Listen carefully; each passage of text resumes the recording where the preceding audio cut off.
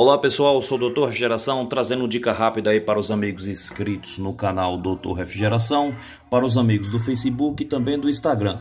Pessoal, estou aqui com o refrigerador Electrolux que ele está bloqueando, ou seja, não está congelando a parte superior e não está resfriando a parte inferior. Como vocês estão vendo, está esse amontoado de gelo.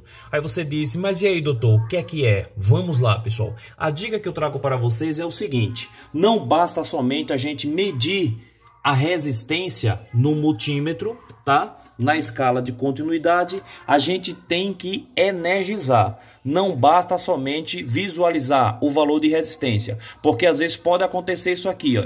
Medir no multímetro, me deu o valor de resistência, só que na hora que eu energizei, olha, não tá aquecendo nada. Eu estou alimentando aqui a resistência diretamente com o cabo ligado na tomada e não tá esquentando nada, não está aquecendo a resistência. Agora eu vou medir ela no multímetro aqui para vocês verem.